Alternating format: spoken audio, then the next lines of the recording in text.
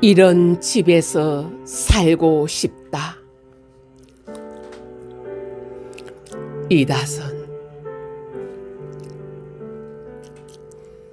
작은 연못 하나 있는 도심에서 그다지 멀지 않은 섬인 듯 섬 아닌 작은 시골 동네에서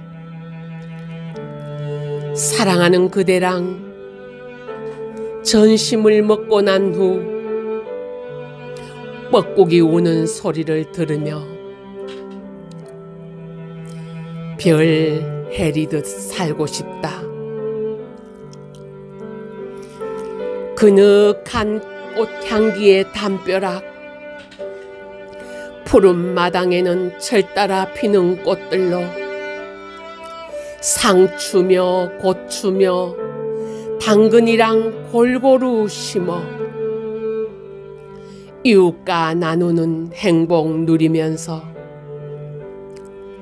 욕심 없이 살고 싶다. 뜨거운 여름인 듯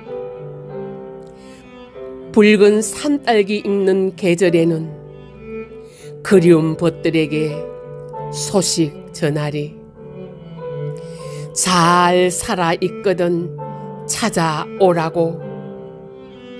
향긋한 허브차 한잔하며 추억을 나누자고. 그러다 문득 곳곳에 오색 단풍 보이는 아름다운 가을이 오면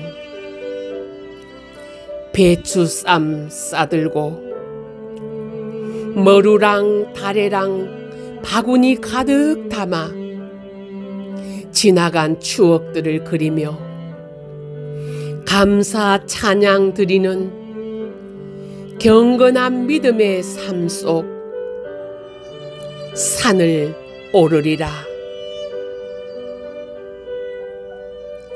머루랑 다래랑 바구니 가득 담아 지나간 추억들을 그리며 감사 찬양 드리는 경건한 믿음의 삶 속 산을 오르리라.